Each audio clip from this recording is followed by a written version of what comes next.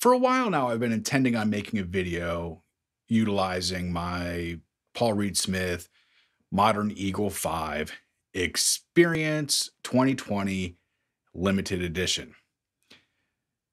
I was really excited to get this guitar, and the reason being is because I've always wanted one instrument that could provide me with almost everything that I could need sonically.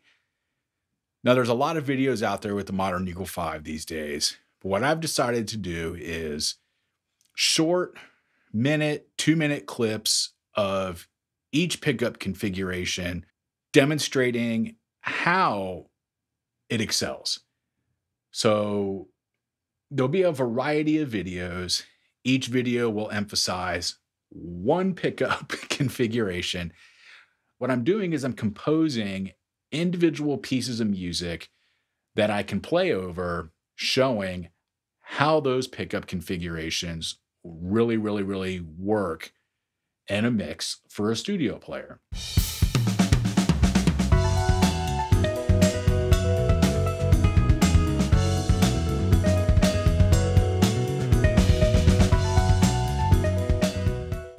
Today's clip is me just kind of jamming with the Bridge Humbucker.